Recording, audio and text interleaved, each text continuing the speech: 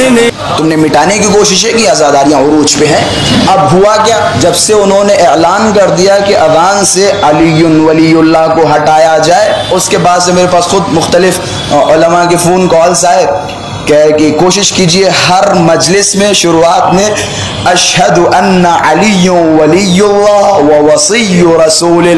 खलीफत बिला फ़सल का नारा लगाइए।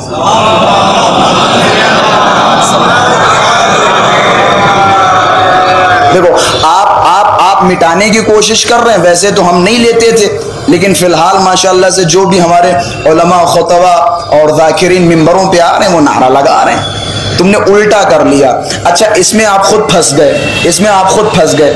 अच्छा इसमें मसला क्या है? जब पूछा गया कि भाई क्या मसला है? अली वलील्लाह से आपको क्या एतराज़ है? कि इसमें तबर्रा फरमाया जाता है कि कैसा तबर्रा? कि वह वह खलीफत हो बिला फ़सल।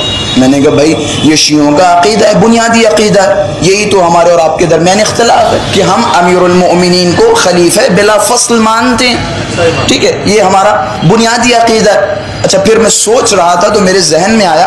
मैंने कहा, रसूलुल्लाह भी कोहे अबू कुबैस पे खड़े होते तो खड़े होने के बाद ला इलाहा इल्लल्लाह का नारा लगाते थे। कोई इलाह नहीं, सिवाय अल्लाह के।